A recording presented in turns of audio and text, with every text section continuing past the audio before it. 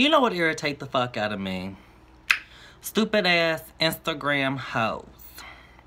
Now, I ain't talking about the hoes that always be popping they pussy and ass cheeks for likes.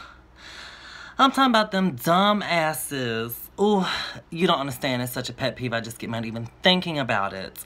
I can't stand them dumbasses that will post a picture, right? And the picture be like, what it looked like when your grandma fall down the stairs, okay? And then you see some old bitch rolling.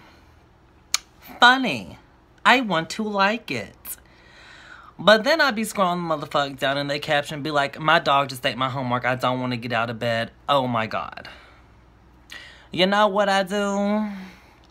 I block the motherfucker. You know what? Because you don't post a picture about your grandma falling down the stairs. Some shit's supposed to be funny. And then you talking about your motherfucking dog and you lazy don't want to get out of bed. Uh, no, the caption goes with the motherfucking picture. Don't y'all do y'all's homework? Don't you understand how it's supposed to be done? Get it the motherfuck together. And these motherfuckers be getting like 10,000 likes. Bitch, why? Why? Don't none of it make sense? What you liking? The old bitch from falling down the stairs? Or the motherfuckers about my dog ate my homework? No one gives a fuck. Okay?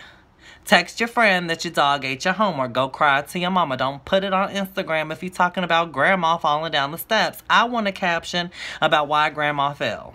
Did you push her? She too high? She too drunk? Her leg? What? Not about your dog and your homework.